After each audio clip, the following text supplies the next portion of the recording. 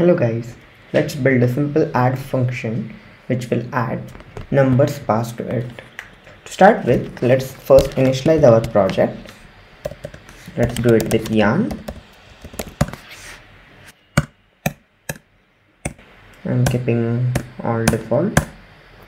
Okay, so once we have initialized, we will be doing this with chai and mocha testing libraries. I assume that you are somewhat familiar with them.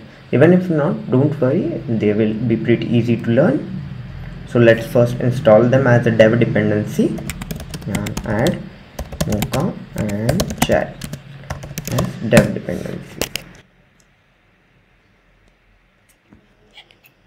So once we have added them, let's uh, edit our package.json and write script to run our test.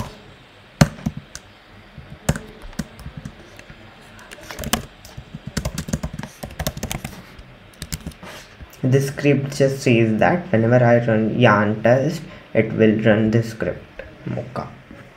And this mocha does the uh, running of testing all the tests so let's create test folder where we will write our test and as tdd says first we will have to write test and then the code to run, to pass the test. So let's add uh, our test. Add dot dot js and now we will describe what our adder function should do. Like this. So our first first test will say what it should do it should should return 0 for no input. So what i'm saying here is if i pass no input to our add function it should return 0 so let's take the result and save it in some variable. And i am here passing no input to add function. And now let's assert on this result assert dot equal result to be 0 this says that this result variable should contain 0 and uh, this assert should be imported from chai library. Okay. So now we have our first test ready. Let's run it with yarn test okay. As you can see this test is failing because add function is not yet defined as we have expected. So let's first uh, define it and make minimum changes to our code to pass this test. So what can be that minimum change? Just create a new file add.js and here we will first export that function add function. And let's define that function. Add. It is taking zero input. And just to pass this test what we want is we want zero input and the result should be zero. So let's simply return zero from here. And now import this add function here let's do it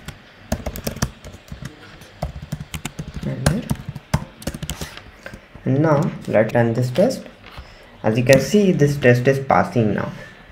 So we are incrementally building our adder function. So now let's write next test for our function. So what would be our next test? It should return addition for two numbers right?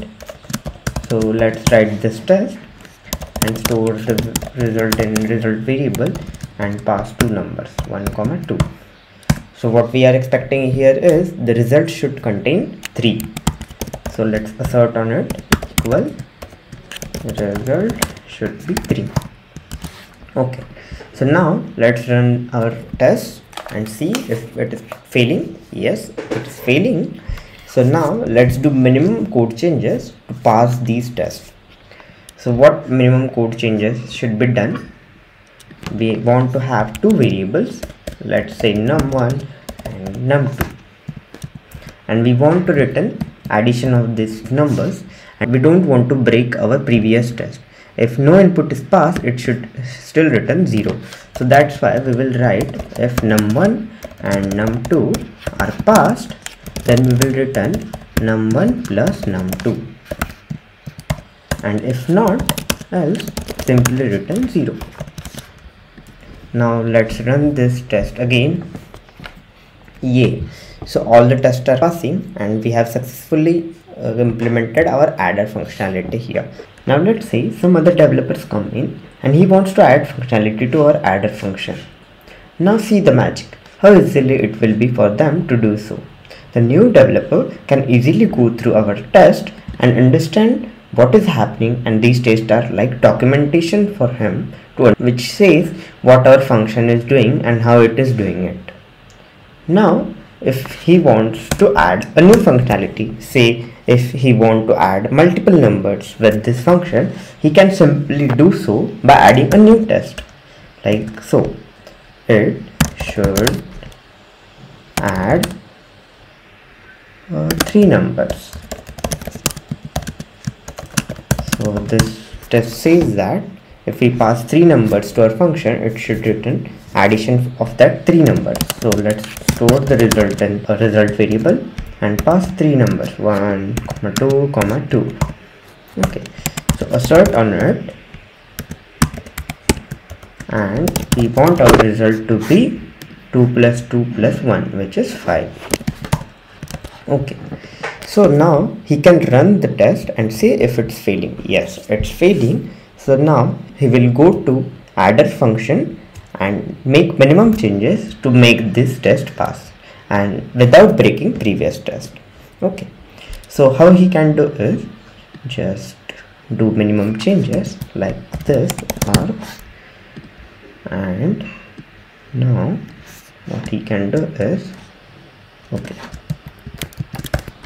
if args dot length is greater than 0 then he wants to add those arguments right? Let's name this argument better with like let's say numbers numbers. And if numbers are greater than 0 then we want to add those numbers. So let's write code for it return numbers dot reduce. We will first have accumulator sum and each number. Sum plus num.